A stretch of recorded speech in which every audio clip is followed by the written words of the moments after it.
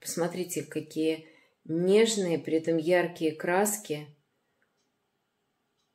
Как красиво видела мир эта художница.